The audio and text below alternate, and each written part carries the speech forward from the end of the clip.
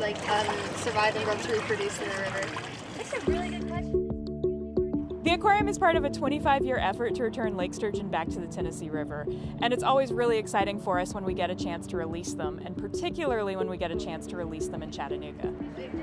We were able to return almost 90 lake sturgeon back to the river. Most of the time, we released these fish at a smaller size up in the French Broad or Holston River, but we held some for a longer period of time for study, and so we had the chance to return them closer to the aquarium.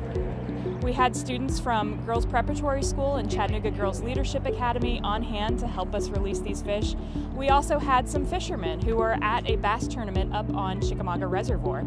So a number of different people, including aquarium staff, were here and helped us get these fish back in the water.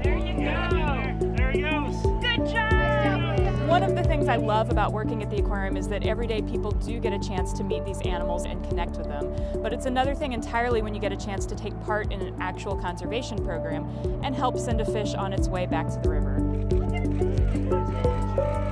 Lake sturgeon are incredible fish. They live longer than any other freshwater fish in North America, so up to 150 years, and they don't reproduce until they're in their 20s in some cases.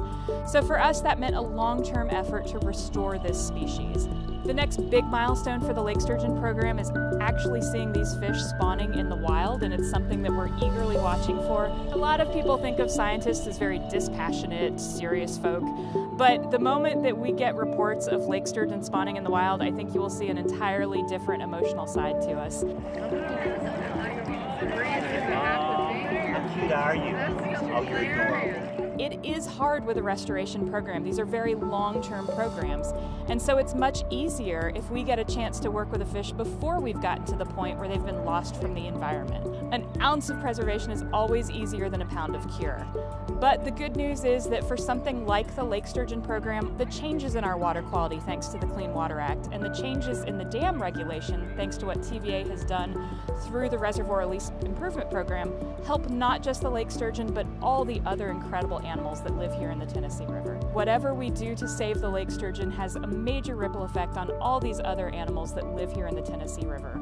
That's incredibly important because the Tennessee River is like an underwater rainforest. We have so many different fish and crayfish and mussels and salamanders, and we're still describing new species from the river all the time.